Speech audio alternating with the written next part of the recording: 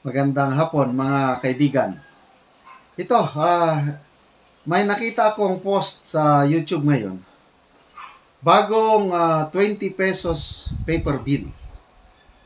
Ah, ang the usual na 20 pesos paper bill, di ba si Manuel L. Quezon? Ito ngayon bago, iba na. O yan ang bagong 20 pesos na papel na pera. Sino ang muka? Walang iba kundi ang ating ah, Pangulong Bongbong Marcos Jr.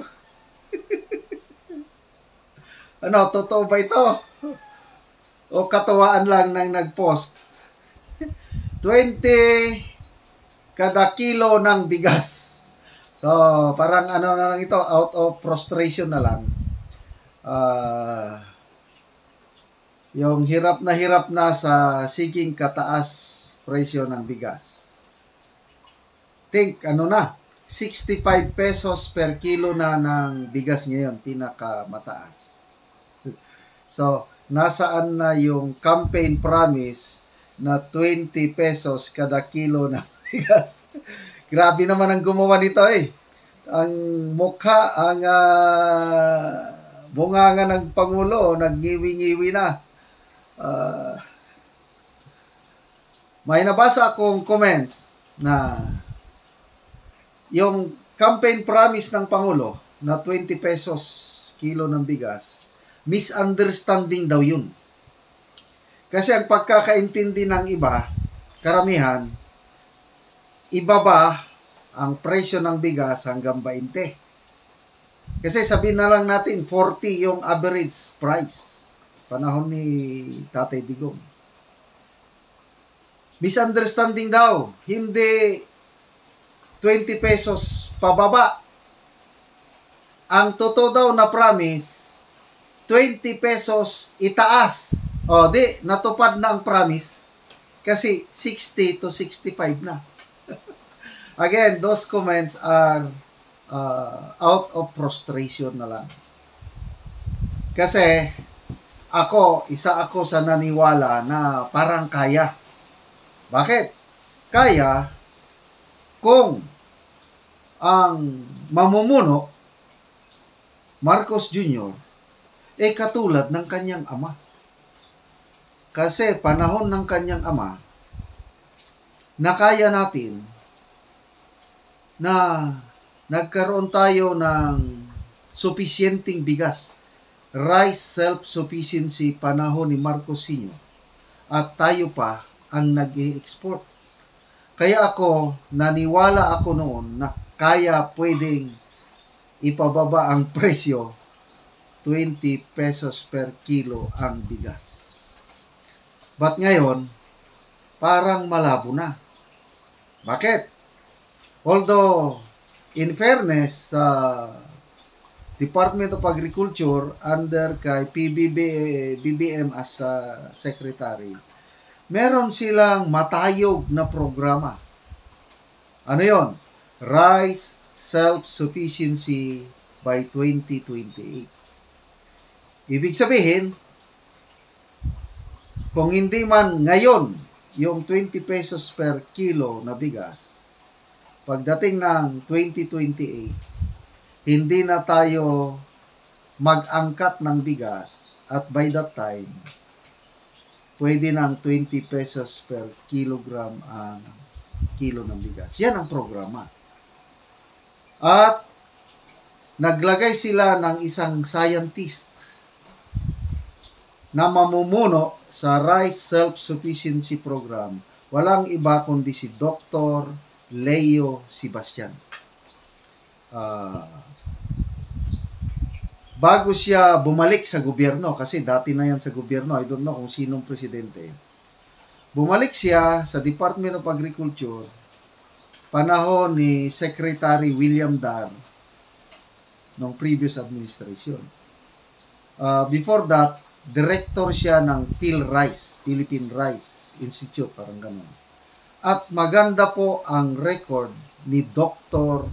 Leo Sebastian He is well respected sa rice production uh, aspect.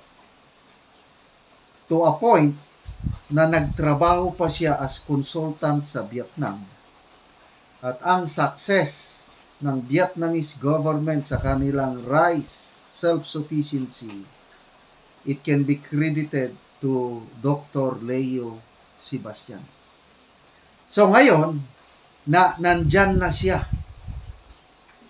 sa Department of Agriculture, siya ang in charge sa Rice Self-Sufficiency Program. Malaking pag-asa natin sana na makakamit ng rice yung hindi na, hindi na tayo aangkat. Kailang even Dr. o Yusek Leo Sebastian, he cannot guarantee. Bakit? Ang daming factors na i-consider. Isa na itong typhoon. Kahit right technology, lagyan mo lahat ng inputs, abono, hybrid na uh, seeds. Eh kung palagi tayong binabagyo, anong mangyari? Oh, sunod-sunod, Goryo, Falcon, Hana, meron pa.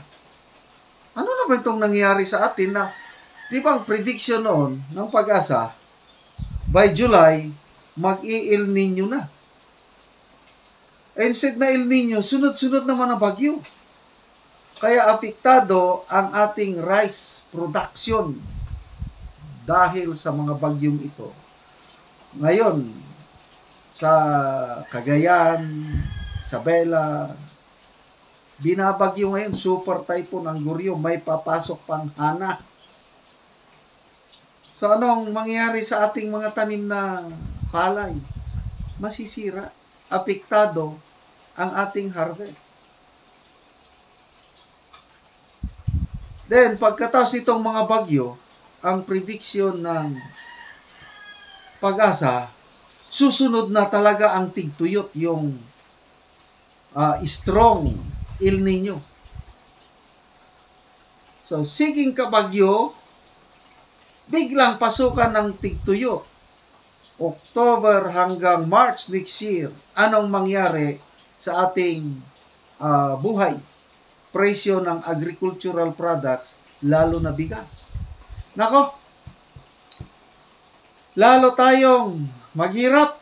Uh, may nag-comment sa akin eh, may nag-comment, nabasa kong comment na totoo nga. Sabi, General, mabuti sa'yo, malaki ang pension mo.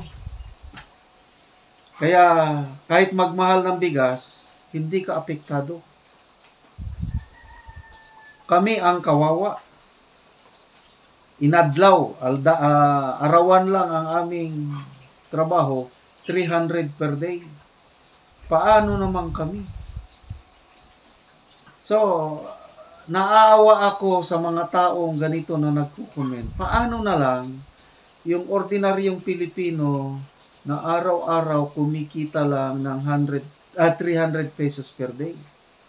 Doon nga sa Talaandig uh, tribal community, may ang arawan nila doon, isang araw magtrabaho sila sa farm, maglinis, uh, guna, maglampas, whatever. Ang sweldo doon sa bundok, 150 pesos per day. Wala pang libre yun. So, ganun po, kahirap ang buhay.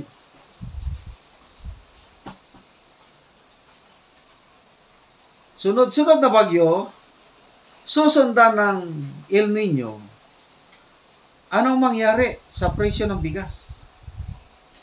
Yung nabasa ko sa news, dalawa. Una, may nagpre-predict na ang pagtaas ng presyo ng bigas aabot pa hanggang katapusan ng October. So, ibig sabihin, kung 60 to 65 na ngayon, August pa lang ngayon. Eh. Pagdating ng September, October, baka abot pa yan ng 70. Nako. Okay. So, harvest season na. Inaasahan na pag mag-harvest na ngayong early October, baka bababang presyo. Kasi ang dahilan kung bakit tumatas ang presyo dahil manipis ang supply ng bigas sa ating bansa ngayon. Maliit na lang ang buffer stock natin. Kaya plinaplano ng gobyerno, yun na naman, Department of Angkat. Pasok na naman ang imported rice. So itong inaasahan nating harvest ngayong October, binabagyo naman. Goryo ngayon, tapos mayroon pang susunod na hana. Talagang ano, awang-awa na ako sa mga kababayan nating mahirap. Kaya ito, nag-vlog ako. Out of, ano, uh, frustration na rin siguro ito. Dahil, uh, paano na lang? Oh, may nabasa akong article sa Manila Times. Go and tell them to eat kamote. Dahil daw sa presyo ng bigas, eh magkain na lang daw tayo ng kamote. Eh magkano ang kilo ng kamote? Mahal na rin.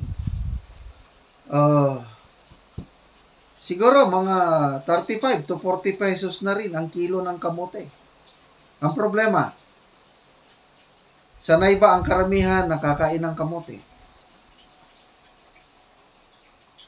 Ang taong nasanay kumain ng bigas, hahanapin ng bigas kahit mahal.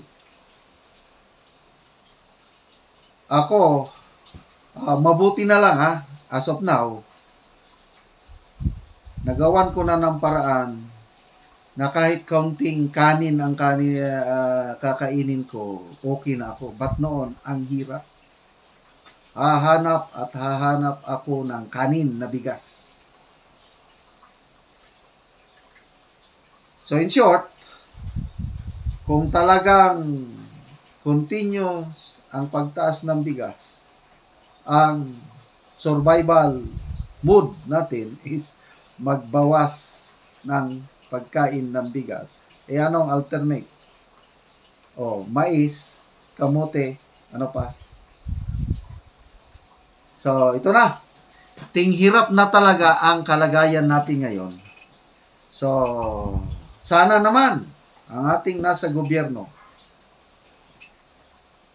gawin nyo ng tamang yung uh, trabaho lalo na ang nag-promise nito para naman maibsan ang paghihirap ng ordinaryong Pilipino. Kung hindi man kaya na ipababa ang presyo ng bigas hanggang 20, sana ibalik nyo sa dati 40 kasi nasanay na ang tao sa 40, makakaya na, makaka-survive. Kailan kung sa isinta sitinta talagang hirap na hirap na ang nasa laylayan ngayon.